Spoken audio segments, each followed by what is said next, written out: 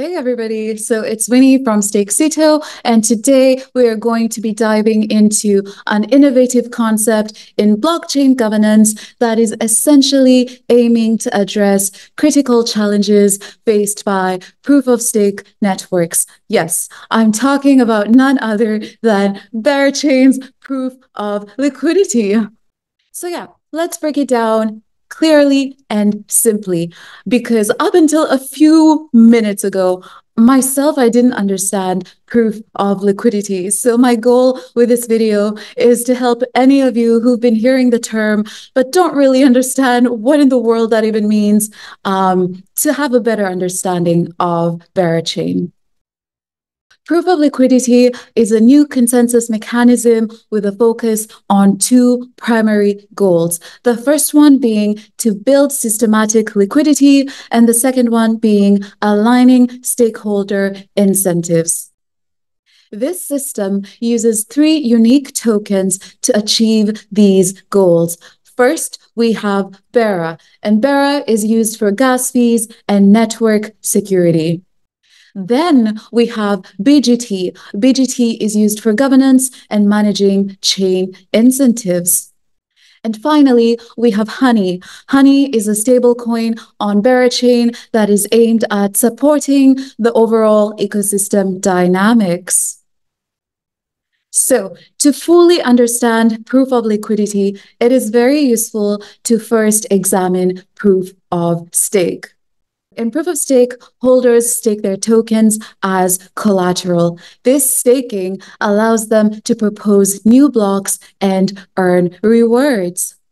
A level above proof of stake is delegated proof of stake or DPoS, which essentially enables participants to delegate their voting power to validators. However, proof of stake has several significant drawbacks. First, Staking tokens reduces available liquidity because these tokens are locked up by validators, making them inaccessible for other users. Additionally, applications built on proof of stake chains have limited means to improve the security of the underlying chain since the security primarily depends on the staked tokens. And finally, validators receive very minimal benefits from the applications that they support.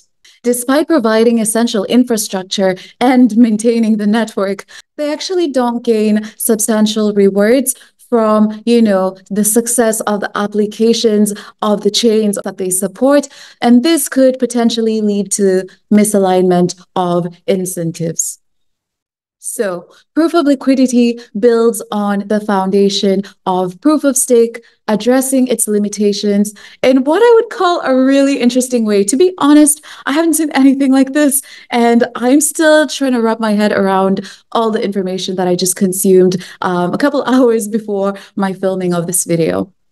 So what does proof of liquidity look like? Let's start with validators. New validators must provide a BERA bond. Remember, BERA is a token for securing the network. And so validators need to provide a BERA bond to be eligible for block production. Once they're selected to propose a block, validators direct BGT emissions to liquidity gauges of their choice. This process influences network incentives and creates a dynamic where validators are actively managing and supporting liquidity, unlike in proof of stake, where their role is rather static. Another major advantage of proof of liquidity is its unique approach to decentralizing inflation. So proof of liquidity basically emits new BGT. Remember, BGT is the governance token to liquidity providers, avoiding the stake centralization that we commonly see with traditional proof of stake networks. This approach ensures that new tokens go to active users who contribute to the network by providing liquidity and performing other common on-chain actions. Something else worth noting is that with proof of liquidity, all validators have an equal chance of producing blocks. However, the amount of BGT emitted per block is proportional to the BGT delegated to the proposing validator. Yeah, and so this basically democratizes block production and encourages validators to align their interests with those of the community and the applications being built on Berachain. A key innovation of proof of liquidity is the separation of concerns between governance and security. BGT is non-transferable and earned only by providing liquidity. It is then used to influence chain incentives and governance decisions.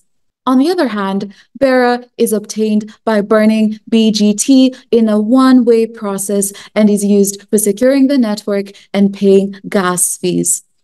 This separation ensures that those who influence chain activities by way of BGT are distinct from those responsible for chain security by way of the Bera token, thus enhancing the ecosystem's overall effectiveness.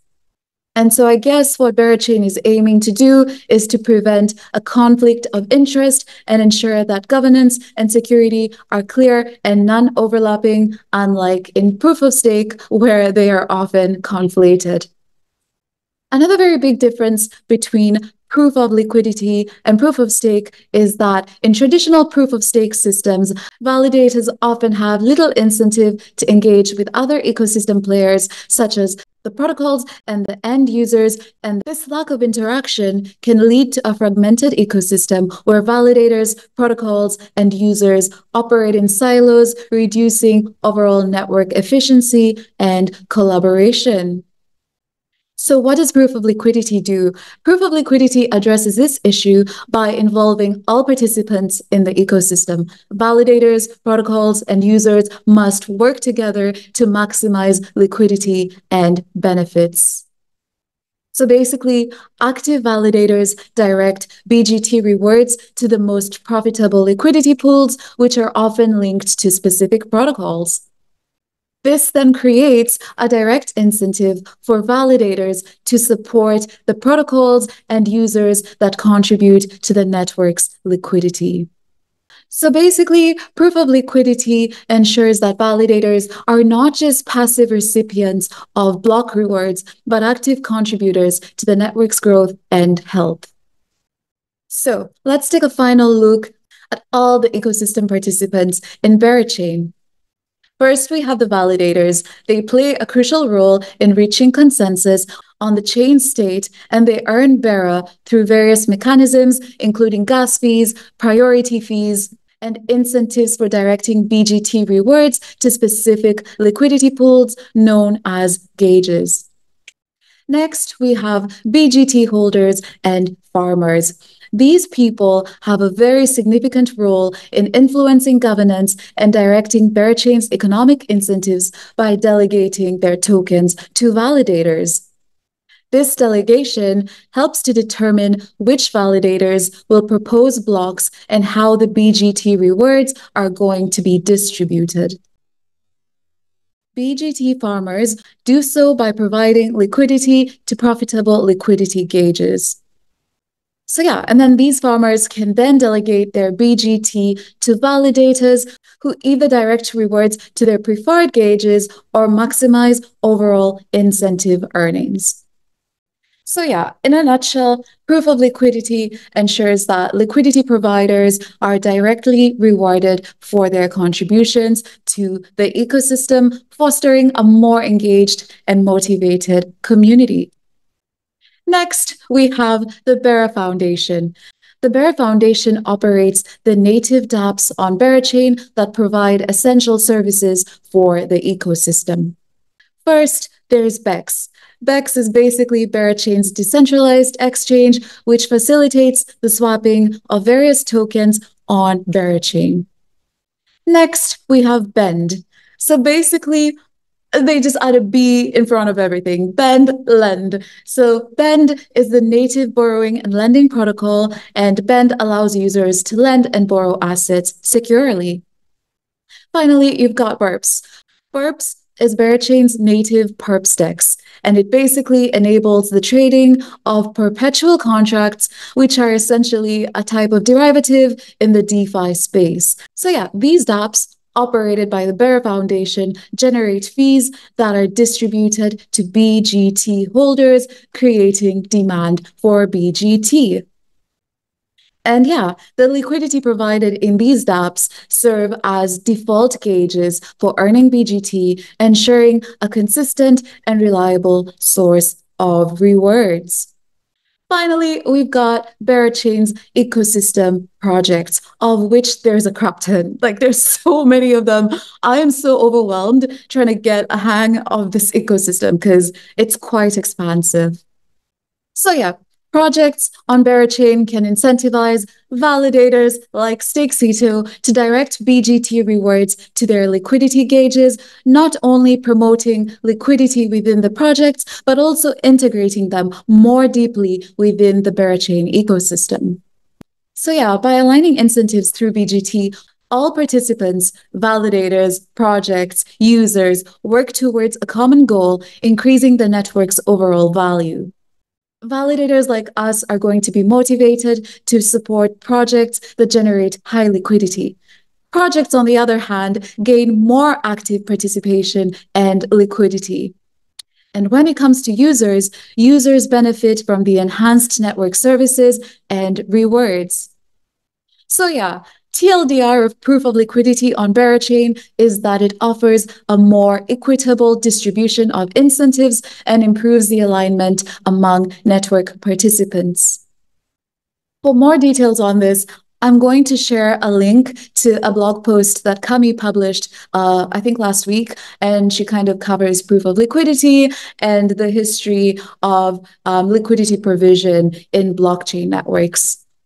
So yeah, it's pretty much Berachain. I thought I actually knew what Berachain was until I started to read on this. And then I realized, okay, I actually do not. So I hope this video was helpful. And Stakecito is going to be a validator on, you know, Berachain. Our DMs are open. We want to collaborate with as many people in the ecosystem. And yeah, I think our big value add is really just the network that we've built and, you know, the ability to support projects with onboarding users into their protocols and ecosystems. So yeah, that wraps up my video. Have a good rest of your weekend. Bye.